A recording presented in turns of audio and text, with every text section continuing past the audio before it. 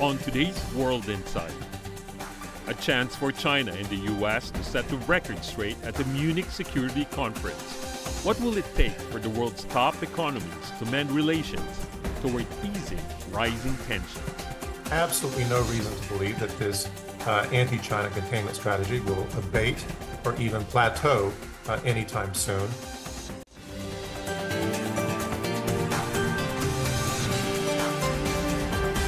And here is our host, Tian Wei. Hello and welcome to World Insight with me, Tian Wei. The 59th Munich Security Conference wrapped up last weekend with the mission to address the world's most pressing security concerns. On the sidelines of the event, Wang Yi, director of the Office of Foreign Affairs Commission of the CPC Central Committee, had an unofficial meeting with U.S. Secretaries of State Antony Blinken, during which the two parties discussed the balloon incident. This is the second high level engagement between China and the US since the two presidents met during the G20 merely three months ago. Yet, the China US relationship is not thriving and booming as the world expected since then.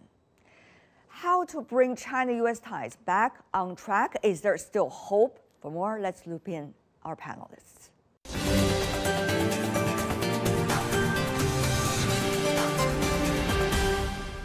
In Washington, D.C., Sourabh Gupta, Senior Asia Pacific International Relations Policy Specialist with the Institute for China American Studies. In Shanghai, Joseph Gregory Mahoney, Professor of Politics with East China Normal University. Also in Shanghai, Shen Dingli, Professor with the Institute of International Studies of Fudan University. Gentlemen, welcome to the program. Over the weekend, the meeting between Secretary Blinken and China's uh, uh, State Councilor Wang Yi certainly has uh, occupied the headlines of global media. So, Professor Shen, very briefly start from you. What do you think of the result of discussion regarding the balloon incident or the balloon drama? Well, I think uh, the purpose is to reset China-U.S. relationship uh, because recently it has been derailed uh, uh out of the balloon shock. So the two leaders of the, of the countries, uh, they want to uh, turn over the page and uh, move on the relationship to uh, lots of regional and global uh, uh, strategic issues. But from the readout of both sides, it seems the balloon thing has occupied quite a few paragraphs. yes they need to show each other's position. I think each other understand other's position, but in order to uh, speak to their own audience domestically, uh, they have to uh, uh, uh pretend to defend their position. But I think this is a very important exchange in order to negotiate a way uh, to bring the relationship mm. out of the trap of the balloon shock. All right. Professor uh, Mahoney, please. Well, you know, I don't think the balloon incident is the cause of tensions. I think rather it was exploited uh, deliberately by the United States in order to accommodate uh, American desires for increased tensions. Um, I think the, the, the, it's very clear the U.S. is on a path of increased provocations. We know that we'll have more directed towards Taiwan soon. Um, and if we look back, you know, to the waning days of the Obama administration, uh, they have accumulated step by step through the Trump administration and, and really accelerated during the Biden administration, growing more and more intense. There's absolutely no reason to believe that this uh, anti China containment strategy will abate or even plateau uh, anytime soon. Uh, rather, almost every indication we have in terms of what the U.S. is doing and continues to do against mm. China um, is that it will increase um, and that the, the U.S. will continue uh, to do so until uh, it is no longer uh, feeling threatened by China, yeah. until it's either knock China back far enough or knock China down, or, or the U.S. gets its own house in order and no longer feels vulnerable due to its own inability to, to govern itself. Do you think, Professor Mahoney, that the Chinese reaction so far, including from State Councilor Wang Yi, have spoken clearly to the U.S. Uh, quote unquote provocation, as you believed, against China? I think China has been very, very clear. I think that, that China and, and, and a number of people keep looking very optimistically towards the United States, keep, keep communicating clearly, keep saying this is what we expect. Um, but increasingly, uh, you know, we, we see that the U.S. is on this path and, mm. and ignores China, um, uh, characterizes things in the worst possible way, demonizes China, um, and really is locked in this uh, global media war uh, that aims to uh, poison any positive China message uh, around the world as an effort to try to sustain U.S. hegemony and power. Mm-hmm. Dr. Gupta, from your perspective, I'm sure you read more American press coverage than all of us uh, based in China. But uh, inside the Beltway, what exactly is the sense regarding the balloon incident? In other way, in other words, what is your take uh, from the readouts and also the attitudes uh, followed by the meeting? Uh, with regard to the meeting, what came out stood out for me was the agreement on both sides to disagree on with regard to actions related to the balloon. Uh, I think what one of the things I would do is to hark back to the Anchorage meeting. Where Wang Yi and Mr. Blinken were present, and at that meeting they were doing their politics and speaking to their home to home turf, and so they were putting forth very clear positions which were in disagreement with each other. And it took a long while for the two countries to try to create some sort of a modus operandi to move forward, a modus vivendi. What one will see from this balloon meeting, and that's why from this Munich meeting, and it's a sharp contrast with Anchorage, is how much, how soon they will be able to move beyond and try to kind of create to to to resurrect ties and have some sort of better communication and restart the working groups. But I think it's also important that the two sides laid out their positions clearly out here. And I think both sides wanted to place this on the record so that there's clarity and uh, on intentions on both sides if ever such an event were to okay. occur. Professor Shen, uh, your thoughts on the so-called precedent setting, is it? Uh, I think uh, uh, if we can take any questions from this incident. That is, both China and U.S. need to respect each other's uh, sovereignty. Uh, sure, the balloon has uh, entered the U.S. territorial space. Uh, China-U.S. difference is whether this is truly uh, unintentional and it is truly for civilian use. That the two countries should find a way how to avoid the recurrence of this by negotiating uh, bilateral code. Mm. For instance, as far as I know, uh, Professor, we do not have internationally rules or clear rules regarding these kind of balloon thing. So um, that's that's what I know so far. Correct me if yes. I'm wrong. Yes. Then China-U.S. need to work out uh, the bilateral code of conduct when China US have no confidence, no trust, every party need to do utmost to uh, protect the trust by uh, have, having cooperative inspection, monitoring. Mm. This is what uh, Chinese balloon in the future need to do. And mm. this is also for the US future balloon, uh, which claim to be out of control and is used for civilian purpose. US balloon should land in China and should notify China when they are about to enter China. And China and US need to make their bilateral code to become a guideline of a future international uh, treaty. China US need to work out their uh, future rule, how to handle uh, future incident. But in the meantime, US uh, need to uh, seriously respect China's uh, concern that America has no right to meddle in China's Taiwan issue, domestic issue. I think Professor Shen is making a very important point, and that point is, you know, in 20 in, during the second Obama administration, the U.S. and China managed to create confidence-building measures. These were written agreements, codes with regard to air and air, air, air-to-air account, encounters and maritime encounters. And what we now need is a new code with regard to unmanned vessel encounters, because we might have UUVs in the waters and we have balloons in near space, and there needs to be a code. Professor Mahoney, eh, from my eh, from, from my understanding, it seems that you are saying these two gentlemen are going to nowhere. Eh, it seems that you're suggesting that you know, this incident is just one of those incidents that one party takes advantage of against the other party, whether it's the balloon or a, flying another flying object or or on the on the water or whatever. It's only being used as a way to provoke the other party and to have a rhetoric war against the other party. Is that what you're trying to say? What about the argument from the both gentlemen? Is it going to be useful?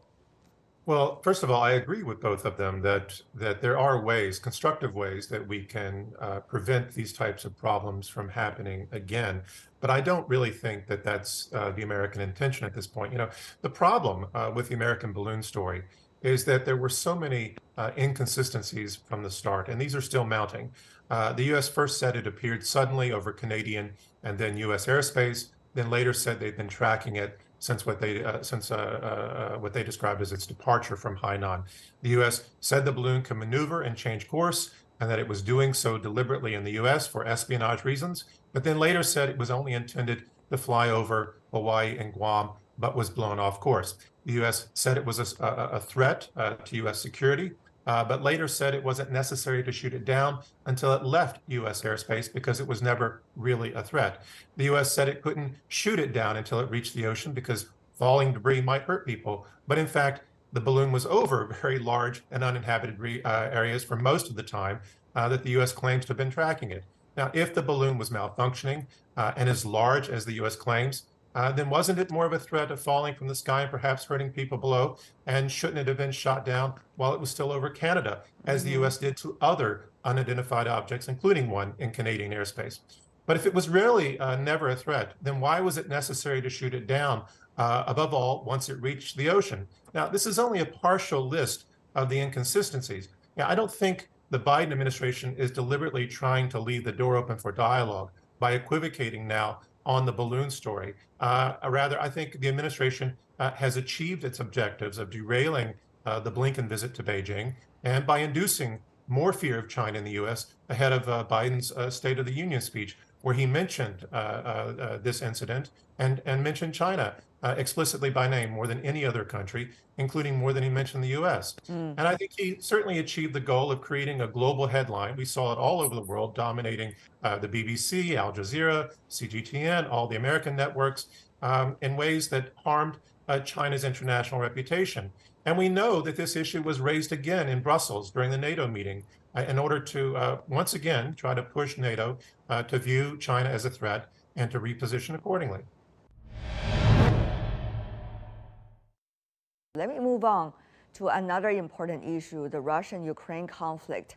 Now, uh, Professor Shen, Chinese State Councilor Wang Yi invited a meeting with the foreign minister of Ukraine on the sideline of the Munich Security Conference. And uh, that was also uh, coincides with the what Chinese consider as certainly unfounded accusations from Secretary Blinken about China's uh, uh, with uh, China's relations with Russia regarding the conflict. Um, so, what is your understanding of how China is articulating uh, a conspiracy, it seems, uh, from Washington against China on the most sensitive and crucial issues uh, of the world today, which is the Russian Ukraine conflict? And certainly an issue dear to the hearts of the Europeans. Uh, China would uh, take action to indicate you are wrong. Uh, that's not the truth. See, we are engaging more intensely and actively, pro proactively with Ukraine. So on this occasion, uh, Mr. Wang Yi would meet with uh, Ukraine foreign minister and probably on other occasions there are many other high-level meetings uh, between the two countries would happen. Uh, first and foremost, Chinese president would uh, publish, would unveil his peace plan uh, that may uh, take into consideration of the legitimate security concern of each uh, of them, Ukraine and uh, Russia. Mm. So China would uh, be fair, but and would table a position for every party to consider. Following that, China may take a more position to to to say we are responsible. We do not only understand Russia, we also try to understand Ukraine better. Okay. On the sideline of the concluded Munich Security Conference, Dr. Gupta, we heard uh, uh, some of the members of uh, Chinese delegations and members of Chinese academic circle traveling there suggesting the Ukraine war, the Russian-Ukraine conflict, has nothing to do with China. Why is the U.S. trying to drag China into this issue and also try to accuse China in front of the U.S. allies about China playing quote unquote a role there. Uh, Dr. Gupta. Exactly. What is behind this is because the, those folks, and that includes the administration, would love to see the world divided into blocks between a dem, dem, democratic bloc and an authoritarian bloc, lump President Xi with President Putin that you know a single single source or single point of failure yeah. in one man can be a, a, a, can can cause un, un, untold tragedy, and try to frame it in that sort of Cold War mindset that we are fated to compete even though we did not want to compete. When frankly the, the truth is the is is exactly the opposite, and that's why this effort to link China to Russia. Well, I would say India's actions have been identical to China, if not even it's purchased more oil and has been more supportive of mm-hmm. Russia. And yet, India has been folded into the Western Bloc. The EU, von der Leyen came to India and, and said, let's right. restart the trade and investment dialogue. And, and so it's this trying to frame and reshape international order into democracies versus autocracies because the US is much more comfortable in that sort of we are locked in a, into conflict, we are locked in a Cold War style, and then let's transact and try to keep it not get out of control, but let's let's compete in that Cold War fashion. And that is the reason China is being lumped together with Russia in as they're trying to lump it together and try to frame the world, uh, the international relations in that in that perspective. Professor Mahoney, please. Yeah, I'd, I'd like to. I agree substantially with, with Professor Gupta, but I'd, I'd like to add very uh, two very direct reasons. First, uh, this conflict in Ukraine uh, has forced the United States to invest heavily in NATO, and this was um, uh, something that uh, certainly the Trump administration didn't want to do, but uh, Biden has taken this as an opportunity to to re-extend U.S. hegemony in Europe and extend NATO far beyond what it what it, what it was previously. Um, but in doing so, it has uh, diverted money and attention that it would be instead more directly spending in its efforts uh, uh, against China directly. So I think the, the, the desire here is okay, we have to invest all this money and all this effort into rebuilding and extending NATO. Wouldn't it therefore be great if we could in part blame China for the conflict in Ukraine? And this would provide some compelling reason uh, for NATO uh, to view China as uh, an enemy as well, and then redirect NATO uh, against China specifically. And I think that this is certainly something, uh, this type of analysis is borne out mm. Uh, in part uh, by the NATO General Secretary coming to South Korea, coming to Japan, and uh, and in tandem with you know the the the other developments that we've seen, right. AUKUS and and um, the new security relationship between the UK and uh, Japan. Uh, it's it's it's that's the the broader uh, goal, I think, and to and to sort of blame China for the the, the danger in Ukraine. Um, therefore, would provide some sort of logic for extending NATO's uh, mandate. Mm.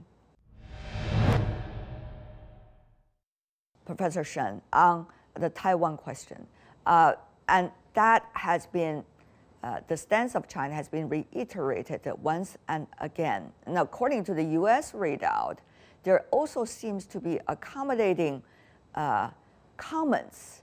Yet, of course, words are one thing, actions are the other. We understand very well since uh, China-U.S. interactions in recent years. So, Professor Shen, your take.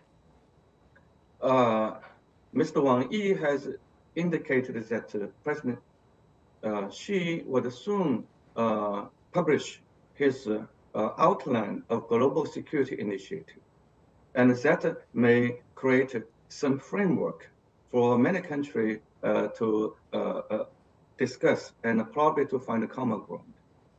And he also said that China is strongly against the U.S. meddling of the Taiwan issue, and uh, we condemn this.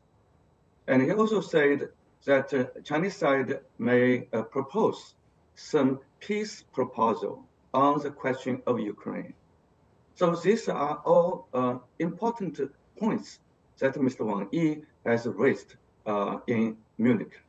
Mm. On the issue of Taiwan, uh, Dr. Gupta, what you have noticed from the wording uh, in the U.S. readout? When we come to the Taiwan issue, the moral high ground uh, resides on, on, on the Chinese side. And therefore, the Chinese readout says that, yes, if you suggest that you follow uh, the one China principle and you do not support Taiwan's independence, then show us that you do not support Taiwan's independence via actions. And this is very appropriate because right now, this weekend, as we are speaking, the Taiwanese foreign minister and the national security advisor are in Virginia to speak with AIT people. They have that special channel that they have. And so it's a very appropriate moment while the US here is defensive, like, oh, we it's a one China policy and we will follow it and blah, blah, blah. So let's go to Professor Mahoney on that, on the issue of Taiwan. How do you read from both sides' attitude, official ones, of course, uh, out of the meeting?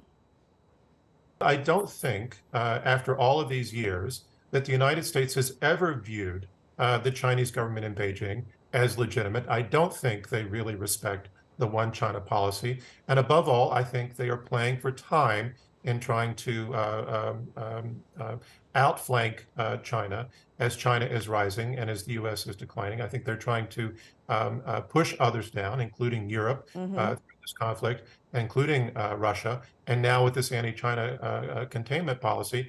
and I think that the goal is just try to push every down, every everyone else down faster than the U.S. itself declines. Mm. I don't think it will work in the end. Um, mm. but I, I, am fearful, uh, above all, that the U.S. is trying to use Taiwan as a point of leverage in this grander scheme of, of pushing China back. Mm. Professor Shen, on the Taiwan issue. Well, I think uh, uh, double standards are plentiful. Uh, I noticed that Secretary Blinken, in his readout, uh, pointed out uh, the U.S. has no change in its one China policy. That's wrong. U.S. keeps changing Americans' version of one China policy every day. And that one China policy has been vastly different from uh, mainland China's one China uh, principle. Uh, mainland China considers that Taiwan is our a part of China. Uh, Taiwan matter is of the nature of China's sovereignty. Uh, we want to uh, attain reunification, the final reintegration in a peaceful manner, but we cannot relinquish uh, any other uh, uh, formats that can lead to our eventual reunification. And out, out of all this is of China's sovereignty. Just like the US seems to treasure its own territorial space, China uh, uh, dearly treasure its sovereignty, yeah. and America has made all efforts to stop China. That made uh, me to think America has such a ridiculous uh, double and even multiple standards. With the latest interaction between Chinese state councilor and U.S. Secretary of State on the sidelines of the Munich Security Conference, how much do we see that there are at least some minor steps walked already toward those goals? You know, I think that the the disrupted Blinken meeting to Beijing um, uh, really set things back, and then the balloon set things back. We know that uh, the House uh, uh, Speaker is likely to visit Taiwan. That will set things back. So I'm concerned that any little positive steps that we might see will take two or three steps backward again. I think that's the trend, and I think it'll certainly continue over the next two years as we approach the U.S. Uh, presidential election. Dr. Gupta.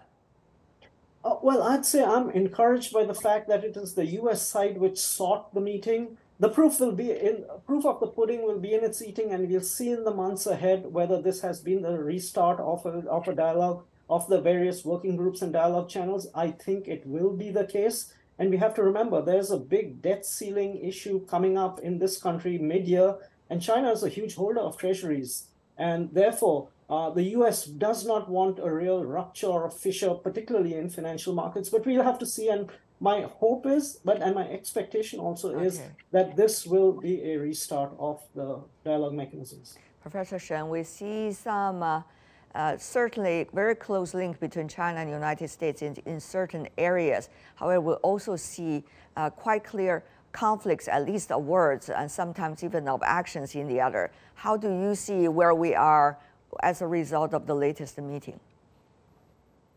I think uh, the two presidents may have a telephone conversation uh, to finally pave the way that Blinken will come to China.